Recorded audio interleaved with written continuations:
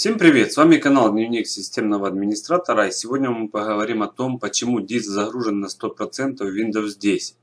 Часто возникают проблемы с загруженностью диска на 100%. Компьютер начинает медленно работать или когда вы переходите в диспетчер задач, то замечаете, что диск загружен на 100%. Какие это могут быть причины и в каком случае что нужно делать. Бывает 4 причины загрузки диска на 100%.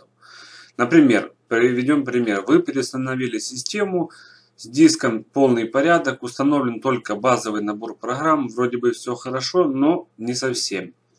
По-простому говоря, жесткий диск начинает зависать, а в диспетчере задач мы можем увидеть, что загрузка диска возросла до максимальных 100%. Давайте рассмотрим, почему диск так сильно загружен и проверим, кратковременная ли эта ситуация вызвана какими-то действиями работающих программ, либо же проблема имеет продолжительный характер и как ее решить. Первое, что может повлиять, это поисковая система Windows и индексирование файлов. Windows 8 уже и Windows 10 причиной может стать ситуация, когда поисковая система втягивается в зацикленный процесс, в результате чего увеличивается нагрузка на диск при поиске файлов – и ее, к счастью, можно отключить вручную, остановив этот поиск. Для этого открываем поиск, вводим сюда командная строка, запускаем ее от имени администратора и вводим вот сюда вот такую вот команду. netstop windows поиск получается. Нажимаем кнопочку Enter. После выполнения данной команды закрываем, открываем наш диспетчер устройств и смотрим на загруженность нашего диска. После этого должно остановить поисковый процесс и загруженность диска снижается, например, до определенного параметра, который будет для вашего компьютера хорош. Тем не менее, проблема, конечно же, может повториться через некоторое время, особенно если в компьютере установлен старый диск и система имеет проблемы с индексированием файлов. Тогда можно полностью отключить индексацию, несмотря на то, что это в какой-то мере замедлит процесс поиска файлов в вашей системе. Конечно же, это отобразится на быстродействии. Для того, чтобы отключить индексирование, нажмите сочетание клавиш Windows плюс R и вызовите окно «Выполнить». Затем нужно будет ввести команду. Нажимаем Windows плюс R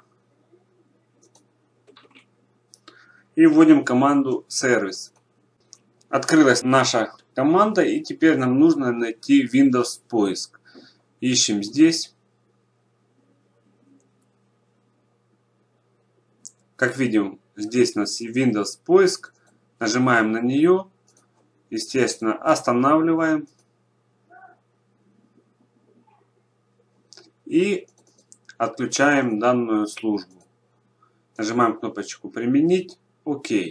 Все, после этого данная служба у вас запускаться не будет.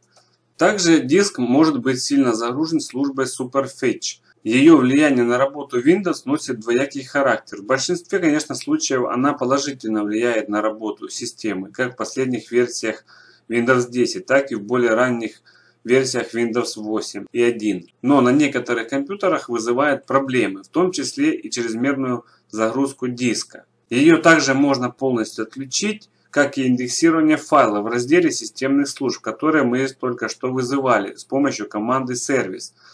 Давайте откроем Windows плюс R, введем снова сервис и найдем команду Superfetch.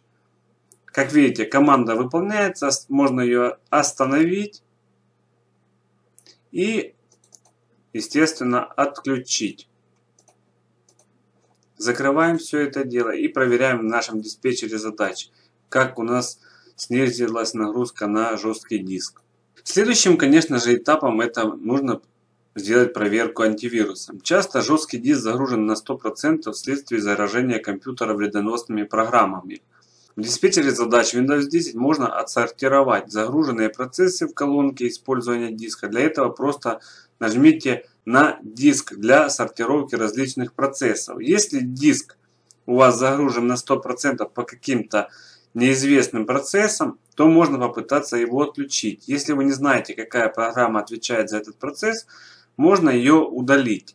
Тем не менее, если это неизвестный файл .exe, Особенно его процесс нельзя завершить по причине отказа в доступе. Следует проверить компьютер на вирусы. Причиной также может быть и сама антивирусная программа, которую инсталируем после установки Windows 10. Возможно в этот момент она сканирует диск в вашем фоновом режиме. В этом случае подождите, пока она завершит установку и проверку всех ваших файлов. И посмотрите, насколько он будет загружен. Если антивирус постоянно сильно загружает жесткий накопитель, то его следует заменить на другой. В свою очередь, для удаления вирусов рекомендую программу Malware Bits Anti-Malware, как я уже рассказывал в некоторых видео.